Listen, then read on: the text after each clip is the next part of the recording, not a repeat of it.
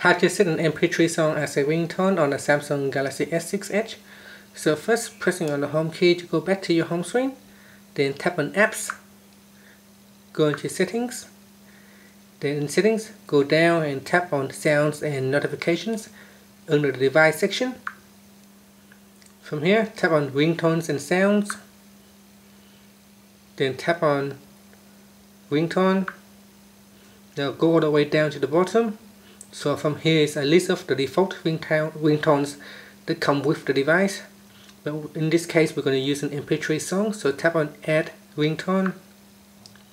Then choose sound picker and tap on just once. From here it will show you a list of all the available um, songs on your phone.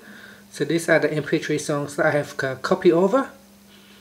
You can also tap on the tracks, the drop down keys so that it will sort by albums, artists or folders. So in case if it's uh, showing like folders, you can tap on uh, the folders and you can browse all the songs in a particular folder. You can tap on the back key to go back. You can go into the music folder or the ringtones folder. So choose an, choose an MP3 songs.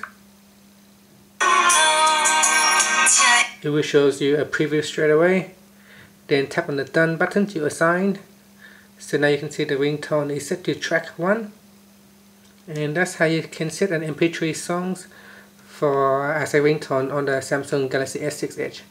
Thank you for watching this video.